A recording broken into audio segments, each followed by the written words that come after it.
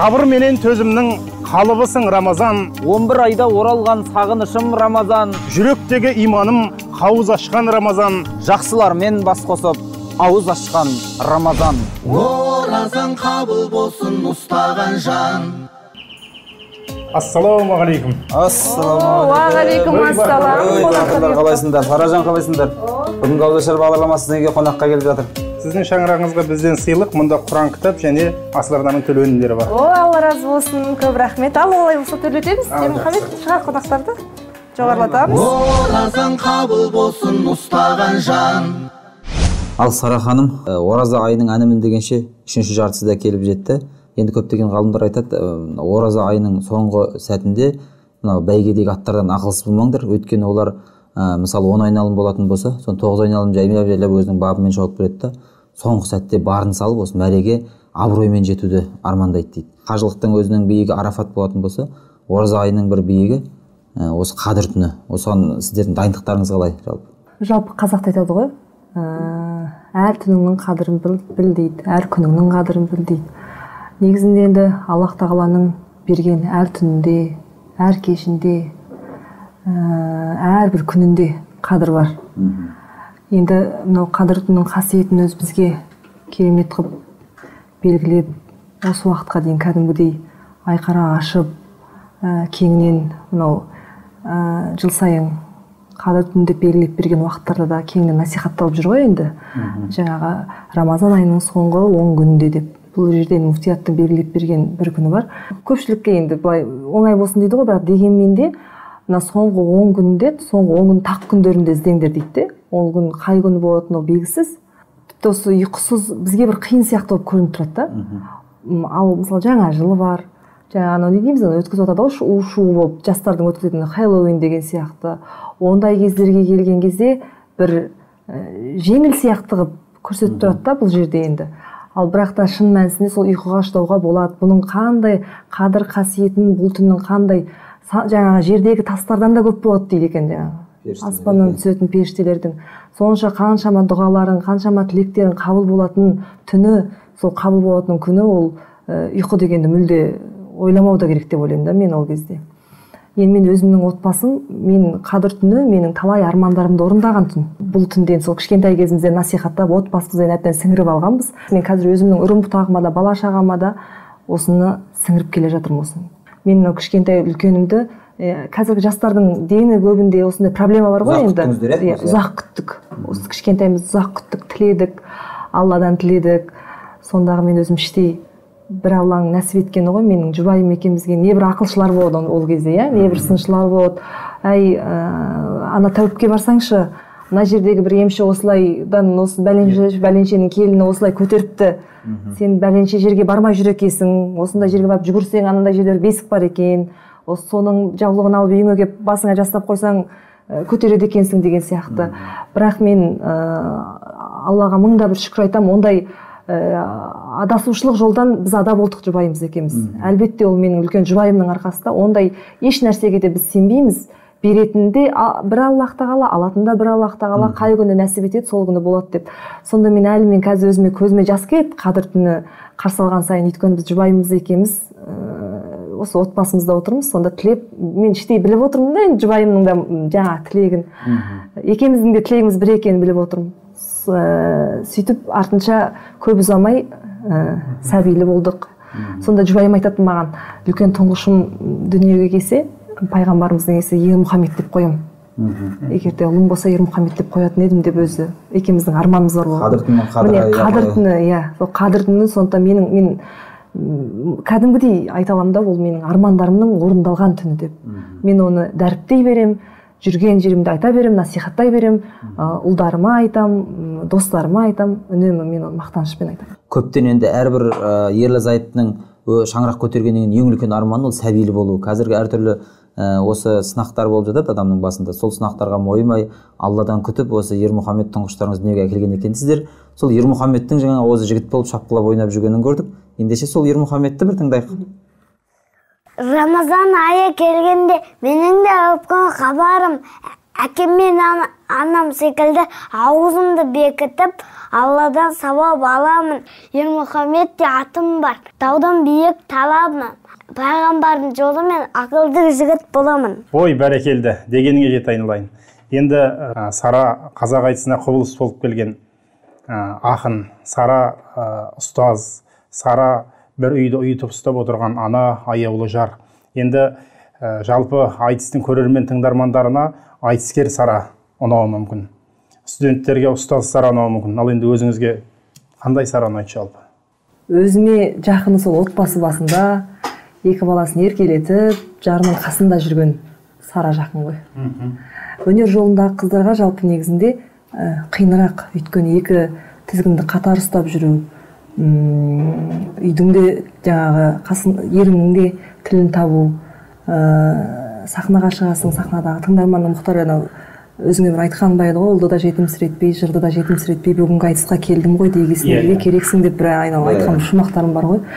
Енді ә, негізінде енді әйел адам болғаннан кейін отбасы бірінші орында болу керек деп ойлаймын өзім. Ойламаймын ол әлбетте солай болу керек. Мен енді ә, сол бір жарымның анау өткенде сол және әлеуметтік желі деп қалдым ғой әлеуметтік желіде. Жарымның туған күнін құттықтадым да сонда жаңағы суретімізді қойып? Ә, ел алдында жайнап жүрсем жарқырап соның бәрі сенің арқаң есілім деп есілім менің азаматымның жаңағы есімі. Соның бәрі сенің арқаң есілім деп жатырмын да. Менің егерде жан жарым маған қолдау білдірмесе иә ол кісінің рұқсатын алмасам мен сахнада бұл күн жүрмес едім өйткені қазіргінің өзінде маған екі таңдау тұратын болса сара өнерді таңдайсың ба? Жоқ әлде отбасына таңдауың, таңдауың түсе ма десе мен әлбетте бірінші кезекте отбасын таңдайтын едім. Өйткені әйел адам отбасындағы жылу беріп тұратын сәулесі иә? Егер де мен ол ә, жан жарымның қабағын бағып ол кісінің көңілінен таба алмай ә, қабағына қар жауғызып қоятын болсам менің жолым болады деп ойламаймын. Өйткені сол кісінің қолдауының арқасында шығып жарқырап жүрсем сөзімді кәдімгідей сомдай алсам ә, нық айта алсам оның бәрі сол менің жарымның маған берген қолдауы. Алланың елшісі пайғамбарымыз мұхаммед саллаллаху алейхи вассаламның хадисі бар екен. Әрбір баланың жәннаты ақыретінің жақсы болуы ол ата ананың разылығында. Ал әрбір әйел затының жәннаты ол күйеуінің разылығында деп келетін. Шынымен де ә, күйеуімен дұрыс мәжілісте бола алмаған әйел шынымен ол екі дүниясы жақсы болмайды. Енді өзіңіздің бір әлеуметтік желіде айтқан сөзіңіз бар. Мені күйеуім айтты мен тұрмысқа шығатынның алдында сара кіммен айтыссаң да мен разымын бірақ менімен айтыспашы деп айтқаны менің есімде. Және бұл әзіл болса да менің өмірлік кредом ұстанымым осы болып келе жатыр деп. Жалпы енді сіздің отбасыңызда сіздің өзіңіздің түлеп ұшқан отбасыңызда ердің разылығы ә, жалпы күйеудің разылығы қандай еді? Анаңыз ә, әкеңізге қандай қабақпен қарайтын еді? Әйел адамға ананың мектебінен артық мектеп жоқ қой. Менің анамның жастайымнан ә, менің санама сіңіріп қойғаны бұл. Ә, ең алдымен ә, күйеуіңнің қабағын тап дейді менің анам айтады. Күйеуіңнің қабағын тапсаң сонда ғана сенің жолың ашық болады дейді. Бір қазақта мынандай сөз бар да ә, ой әр отбасы болады ғой ә, ыдыс аяқ сылдырламай тұрмайды деген сияқты. Оны ыдыс аяқты сылдырлатпау бұл ең бірінші кезекте әйел адамның міндеті. Ол менің осы уақытқа дейін мен оны мақтанғаным емес біз әй шай десіп көрген адамдар емеспіз отбасында. Бірімізге сен сондайсың мен аллаға шүкір енді мен оны кәдімгідей мақтанышпен айта аламын. Өйткені үйімізде бүлдіршіндер өсіп келе жатыр иә. Ертеңгі күні олар қазір дегенің олардың жадылары мықты менің жарым да айтады ә, жолдасым. Ә, кәдімгідей үлгі беретін отбасылардың қатарында болсақ адаспаймыз деп бір сөзінде айтып отыр да. Ол үлгі беретін отбасы ә, қандай болу керек? Жаңағы ыдыс аяқ сылдырламай тұрмайды ой ондай ондай бола береді деп біз бір бейжай қарай, қарай берсек иә. оның ар жағында үлкен дүниеге әңгіме- айналып кетеді иә үлкен әңгіме жатыр негізінде. Сондықтан оның бәріне бейжай қарамау керек. Ә, сондықтан менің күйеуімнің разылығы бұл.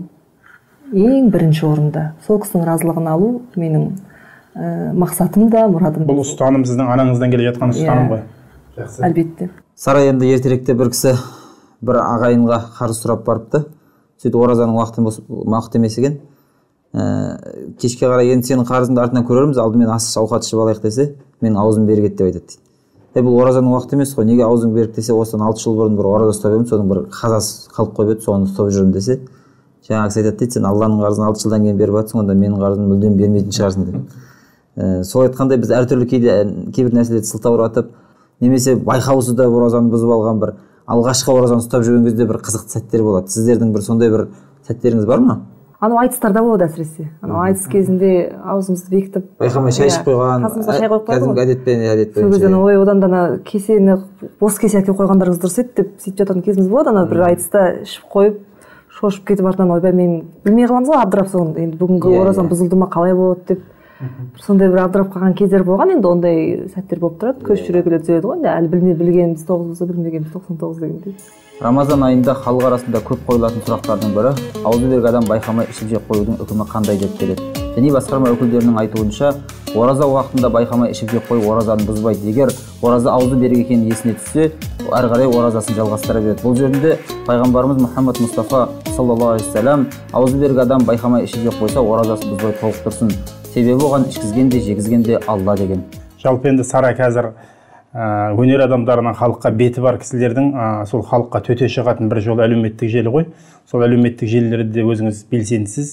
Енді ә, қазақ елінің жалпы ә, қазақ анасының бейнесін сол әлеуметтік желіде қалай қалыптастыруға болады деп ойлайсыз? Әлеуметтік желі дегеніміз бұл кәдімгі тәрбиелеуші құрал деп ойлаймын мен қазіргі таңда. Ә, өйткені мынау қазіргі таңда сонымен өсіруге де болады өшіруге де болады. Мен енді көбінесе мені қыз келіншектер оқиды иә қыздар оқиды. Ол жерде ә, осы айтыс сахнасында жүргеннен кейін менен үлгі алатындар. Осы кісі сияқты болсақ жаңағы тек қана сөйлеген сөзің емес киген киіміңе ә, жүрген тұрған тұрысыңа қарап кәдімгідей бағдарлап отыратындар бар ақ негізінде. Одан кейін үлкен апалар жазып жатады мына немеремнің ә, қызымның сендер секілді болғанын қалаймын деген сияқты. Сол кезде ойлаймын ол енді үлкен жүк кәдімгідей. Аллах тағала бізге осы нығметті беріп қойды аузымызға сөзді салып қойды иә. Демек біз бұны дұрыс атқара білуіміз керек дұрыс көтере білуіміз керек. Ол жерде отырып алып мысалы үшін ол ә, қанша мен мысалы үшін ол жерде киген киімнен ақ ашық жала- жалаңаш не бір киімді кейбір ә, әріптестеріміз сала салады енді оны. Атын атап түгін істейтін емес. Сонда ойлаймын да ол дегенің қанша қыздарға үлгі болып кетуі мүмкін. Ертеңгі күні міне ой бәленбай апайым да киіп жүр ғой әпкем де киіп жүр ғой онда тұрған не бар? Ә, ол қайта дұрыс деген сияқты ол деген қанша қыздарға үлгі болып кетуі мүмкін. Одан кейін көбінекей ә, дұрыс сөздер жазуға тырысып отырамын. Ертеңгі күні соның өзінен қанша пікір келіп жатады иә? Қанша одан кейін өзімнің оқырмандарым бар. Ә, жаңағы сіздің менің кәдімгідей өлеңдерімді жаттап алып жатты айтқай одан кел жаттайық балақайдың кішкентай айдарым бар менің өзімнің сол жерде. Кәдімгідей жа- кішкентай балаларды жаттатып жаңа ермұхамедов айтты ғой сол сияқты тақпақтарды салып қоямын. Оны кәдімгідей ата аналар жаттап балаларды жаттатқызып міне жаңағы жекемізге келіп жатады ғой енді көбінекей сонда ойлаймын да е бізді қанша адам көріп отыр. Сол, сол арқылы қанша үлгі өнеге кетіп жатыр. Енді өткен күннің өзінде мысалы мен мынандай бір не салдым да алдыңғы осы жұмада. Қасиетті жұмада мешітке барар тәмам ел. Ораза айы келгенде алла деп соққан жүрекке иманның нұры тама бер. Сәждеге мен де тұрайын ә, кешірім сұрап жылайын. Қолымды жайып дұға қып еліме саулық сұрайын. Дұғамды қабыл ала көр баласыздарға бала бер панасыздарға пана бер. Атқа мінген айбынды азаматтарға сана бер. Парақшамда отырған оқырмандардың аузына ақыретіне пайдалы сауапты сөздер сала көр деп айтып едім. Бәрекелді иә қанша мысалы үшін ә, ризашылығын білдіріп жатыр қандай мына бір жаттап алатын сөздер екен деген сияқты пікірлер келіп жатыр да енді әумин бір көңілімізге бір сондай бір медеу болды деген сияқты. Міне сондай солардың жылы пікірлерімен қанаттанамыз кәдімгідей. Сондықтан әлеумет- әлеуметтік желінің бір пайдасы сол тек дұрыс пайдалана білу керек. Сара енді мынау отбасындағы ең маңызды болған қарым қатынастың түрі бұл келін мен ененің арасындағы қарым қатынас әйтпесе осы шаңырақтың негізгі ұстын ұстанымының бір ұс- ұстынының бірі осы екі адамның арасында өрбиді тұтас бір әулет осы екі кісінің татулығы болса татулық араздық болса араздығына байланысты. Енді жаңа түскен келіндер бар енді осы ә, от- отау құрсақ деп жүрген жастар бар. Осы келіндерге қандай енемен қарым қатынас туралы кеңес бересіз? Бұл жерде кез келген әйел адамның байлығы киген киімінде сұлулығында емес иман байлығында. Жүрегі иманға тұнып тұрса мінезінде мінезі сондай бір салиқалы болса бұл кез келген жерге сыйып кетеді кез келген отбасын ары қарай үйіріп әкетеді ары қарай дөңгелетіп әкетеді дейді сондықтан ең бастысы әйел адам ең менің басты байлығым бұл менің мінезім. Көркем мінез білу керек. Енді жаңағы ер азаматтың разылығына да оның анасын сыйлау арқылы жетеді ғой. Шынымен де оның анасын риза қылсаңыз сіздің ә, ұсақ түйек бір кемшіліктеріңізге көзін жұма қарайды. Енді өйткені анасының көңілімен анасының сөзімен санаспайтын бала азамат болмайды негізі. Сара ә, салиқалы әңгімеңізге ауызашар дастарханыңызға көп рахмет айтамыз. Отбасыңыз жақсылықтан босағаңыз қонақтан арылмасын. Бүгінгі ауызашар осымен тәмам. Ауыз бекіткен мұсылман адамның екі қуанышы бар. Біріншісі ауыз ашқан сәтте екіншісі ақыретте алланың жүзін көргенде. Алла елімізге жұртымызға барша мұсылмандарға осы қос дүниедегі қос қуанышты да нәсіп етсін ұстаған оразаларыңыз қабыл болсын.